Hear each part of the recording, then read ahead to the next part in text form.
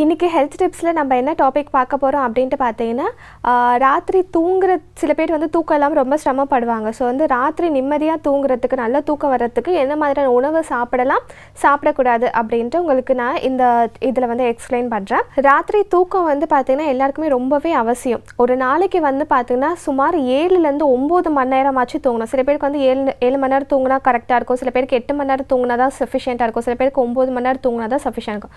So கரெக்டான level வந்து பார்த்திங்கன்னா ஏழுலேருந்து ஒம்பது மணி நேரம் தூங்குறது ரொம்பவே அவசியம். சரியான தூக்கம் இல்லை அப்படின்ட்டு வந்து பார்த்திங்கன்னா கண்டிப்பாக நம்மளுடைய அடுத்த நாளோடைய ஒர்க்கை வந்து பயங்கரமாக அஃபெக்ட் பண்ணும். ஆஹ் எதுலையுமே கான்சென்ட்ரேட் பண்ண முடியாது. ரொம்பவே வந்து டிஃபிகல்ட்டாக ஃபேஸ் டிஃபிகல்ட்டாக நம்ம ஃபேஸ் பண்ணுவோம். ஸோ வந்து தூக்கம் இல்லாததுனால என்னென்ன நம்மளே நினச்சிப்போம் அப்படின்ட்டு பார்த்தீங்கன்னா சில பேர் வந்துட்டு ஓகே நான் ஸ்ட்ரெஸ்ஸாக இருக்கிறேன். அதனால தான் நம்மளுக்கு தூக்கம் வரல. ஓகே எனக்கு வந்து ஒர்க் ப்ரெஷர் ரொம்ப ஜாஸ்தியாக இருந்துச்சு. அதனால் தூக்கம் வரல. ஃபேமிலியில் ப்ராப்ளம் இருக்குது அதனால் தூக்கம் இல்லை அந்த மாதிரி இமேஜின் பண்ணிப்பாங்க. ஸோ அதெல்லாம் வந்துட்டு ஸ்ட்ரெஸ்ன்ற மேஜர் ஃபேக்டர் இருந்தாலுமே அதை தவிர்த்து வந்து பார்த்திங்கன்னா நம்ம ப்ராப்பராக ஃபுட் இன்டேக் அண்ட் எக்ஸசைஸ் பேட்டர்னை கரெக்டாக ஃபாலோ பண்ணாலே வந்து பார்த்திங்கன்னா நம்மளுக்கு ப்ராப்பராக ஸ்லீப் வரும்.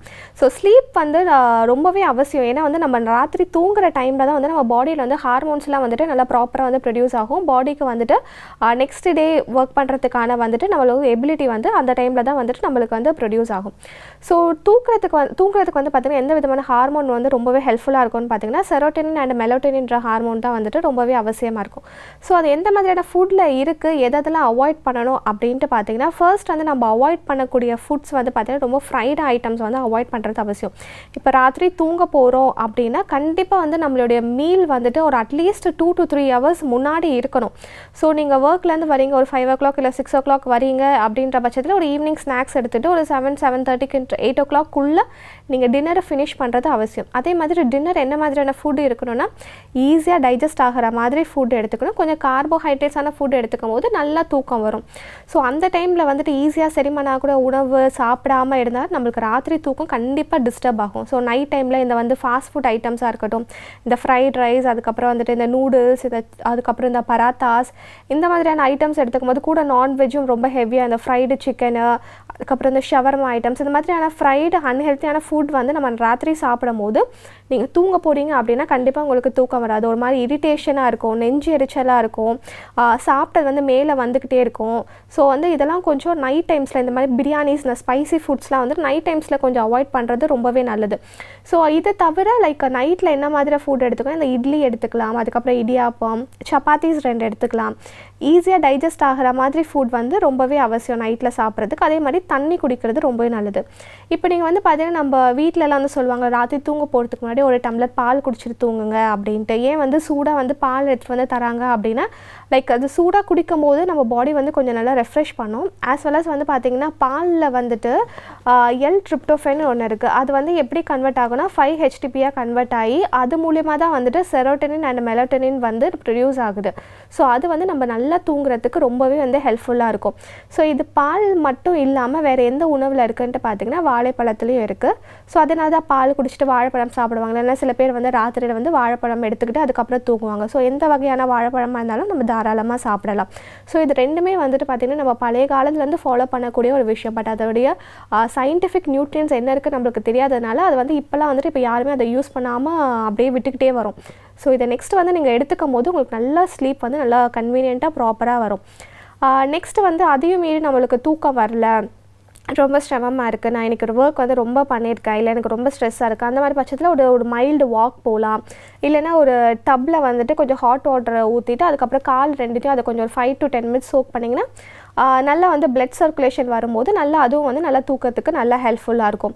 நெக்ஸ்ட்டு இதை தவிர வேறு என்னென்ன ஃபுட் எடுத்துக்கலாம் அப்படின்ட்டு பார்த்தீங்கன்னா செரி பழம் எடுத்துக்கலாம். நீங்கள் சாப்பிட்ட உடனே ஒரு ஒன் ஹவர் முன்னாடி இல்லைன்னா ஒரு ஒன் ஹவர் அப்புறமா சாப்பிட்டதுக்கு அப்புறம் எப்பவுமே வந்து ஃபுட்டோட பழங்களை எடுத்துக்கிறது கொஞ்சம் அவாய்ட் பண்ணுறது நல்லது. எதர் ஒரு சாப்பிட்றதுக்கு முன்னாடியும் இல்லைன்னா சாப்பிட்டதுக்கு அப்புறமும் ஒரு ஒன் ஆர் டூ ஹவர்ஸ்க்கு அப்புறமா ஃப்ரூட்ஸ் எடுத்துக்கிறது ரொம்பவே நல்லது. ஸோ செரி பழம் எடுத்துக்கும் போது அதில் நல்ல ஆன்டி ஆக்சிடென்ட் கண்டென்ட் இருக்குது ஸோ அதுவும் வந்து பார்த்திங்கன்னா நல்லா தூக்கத்துக்கு ஹெல்ப்ஃபுல்லாக இருக்கும். நெக்ஸ்ட்டு வந்து பார்த்தீங்கன்னா லைக் இதை தவிர்த்து வேறு என்னென்ன ஃபுட் எடுத்துக்கலாம் அப்படின்னு பார்த்தீங்கன்னா நட்ஸ் எடுத்துக்கலாம். நட்ஸில் வந்து பார்த்தீங்கன்னா லைக் எந்த மாதிரி நட்ஸ் எடுத்துக்கலாம் பார்த்தீங்கன்னா ஒமேகா த்ரீ ஃபேட்டி ஆசிட்ஸ் இருக்கக்கூடிய மெக்னீஷியம் மேங்கனீஸ் ஃபாஸ்பரஸ் அதுக்கப்புறம் விட்டமின்ஸ் மினரல்ஸ் இருக்கக்கூடிய நட்ஸ் வந்து பார்த்திங்கன்னா லைக் ஆல்மண்ட்ஸ் எடுத்துக்கலாம். அப்படி இல்லைனா வால்நட்ஸ் எடுத்துக்கலாம். இல்லை ரெண்டுமே சேர்ந்து கூட ஒரு நாளைக்கு ஃபைவ் டு செவன் நம்பர்ஸ் எடுத்துக்கலாம். இல்லை வெறும் ஆல்மண்ட்ஸ் மட்டும் எடுத்துக்கலாம். அது ஒரு ஃபைவ் டு செவன் அந்த மாதிரி எடுத்துக்கலாம். இது ஒரு நாளைக்கு ஒரு நட்ஸ் எடுத்துக்கலாம் ஆல்மண்ட்ஸ் எடுத்துக்கலாம். இன்னொரு நாளைக்கு வால்நட்ஸ் எடுத்துக்கலாம். இதெல்லாம் வந்து பார்த்திங்கன்னா நல்ல லைக் பாடியை வந்துட்டு நல்ல ஃபேட்டும் இருக்கும். அதே சமயம் வந்து பார்த்திங்கன்னா நம்ம தூங்குறதுக்கு நல்லாவே வந்து ரொம்ப ஹெல்ப்ஃபுல்லாக இருக்கும். நெக்ஸ்ட்டு வந்து பார்த்திங்கன்னா லைக் குக்கும்பர்ஸ் எடுத்துக்கலாம். நீங்கள் வெஜிடபிள்ஸ் வெஜிடபிள்ஸ்ன்ற போது லைக் குக்கும்பர்ஸ்லாம் வந்து பார்த்தீங்கன்னா நல்லாவே உங்களுக்கு ஹெல்ப்ஃபுல்லாக இருக்கும். ஃப்ரூட்ஸ் அண்ட் வெஜிடபிள்ஸ்லாம் வந்துட்டு ஒரு நல்ல சாலட் கண்டென்ட்டில் நீங்கள் எடுத்துக்கலாம். பிகாஸ் இதெல்லாம் வந்து நிறைய நியூட்ரியன்ஸ் அண்ட் ஃபைபர் கண்டென்ட் இருக்கிறதுனால வந்து பார்த்தீங்கன்னா உங்கள் தூங்குறதுக்கும் ரொம்பவே நல்லா ஹெல்ப்ஃபுல்லாக இருக்கும்.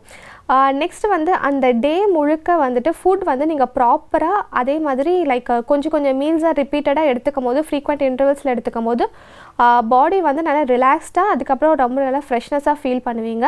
அண்ட் தூக்கம் வந்து ரொம்ப நல்லா வரும். அண்ட் ஸ்மோக்கிங் ஹேபிட் இருந்தால் அதை கொஞ்சம் குவிட் பண்ணிவிடுங்க அண்ட் ஆல்கஹால் ஹேபிட் இருந்தால் அதை குவிட் பண்ணிவிடுங்க அதே மாதிரி சில பேருக்கு வந்து காஃபி குடிக்கிற ஹேபிட் இருக்கும். நைட்டில் தூங்க போகிறதுக்கு முன்னாடி. காஃபி வந்து கெஃபன் இன்டேக் இருக்கிறதுனால வந்து பார்த்திங்கன்னா அந்த தூக்கத்தை வந்து அவாய்ட் தான் பண்ணுமே தவிர்த்து அதனால் தூங்குறது வந்து பாசிபிள் கிடையாது. ஸோ காஃபி இன்டேக் வந்து ராத்திரி ப்ரிஃபர் பண்ணாமல் எதர் லைக் காலையில் அதுக்கப்புறம் ஈவினிங் டைமில் எடுத்துக்கிறதே நல்லது. ஸோ இந்த டிப்ஸ் வந்து உங்களுக்கு யூஸ்ஃபுல்லாக இருக்கும் நம்புகிறேன் நெக்ஸ்ட் வேறு இன்ட்ரெஸ்டிங்கான டாப்பிக்கோட உங்களை மீட் பண்ணுறேன் தேங்க்யூ